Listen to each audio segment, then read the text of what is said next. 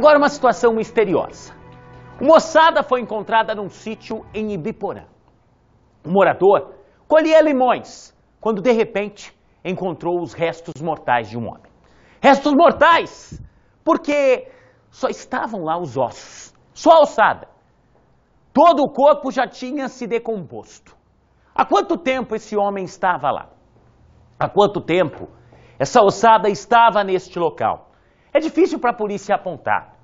Exames vão ser feitos nas próximas horas. A arcada dentária deve ser analisada. E só depois desse trabalho de necropsia é que pode-se chegar à identificação. E só depois da identificação é que a polícia consegue investigar e descobrir. Foi uma morte natural? Essa pessoa foi assassinada ali. O corpo foi desovado em meio a essa plantação de limões? É o que a polícia quer descobrir. Os detalhes agora! Vinícius Buganza, enche a tela. Ossos e a última roupa usada. Foi isso que sobrou da vítima encontrada no meio de um matagal na zona rural de Biporã. Um local bastante afastado e de difícil acesso, próximo de uma plantação de soja. A mata fechada, onde esses restos mortais foram encontrados, é bem difícil para passar. Não tem trilha, tem bastante árvore e vegetação. Só que, segundo a polícia, um morador que vive num sítio próximo aqui teria vindo para cá para pegar alguns limões.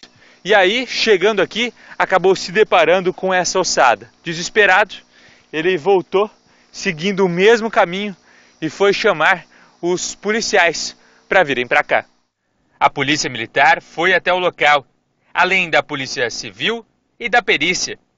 Com poucas informações sobre o caso, o inquérito foi aberto para iniciar as investigações, principalmente para descobrir a identificação de quem seria o corpo. Devido ao estado avançado de decomposição, poucas informações e características a respeito dessa vítima puderam ser levantados.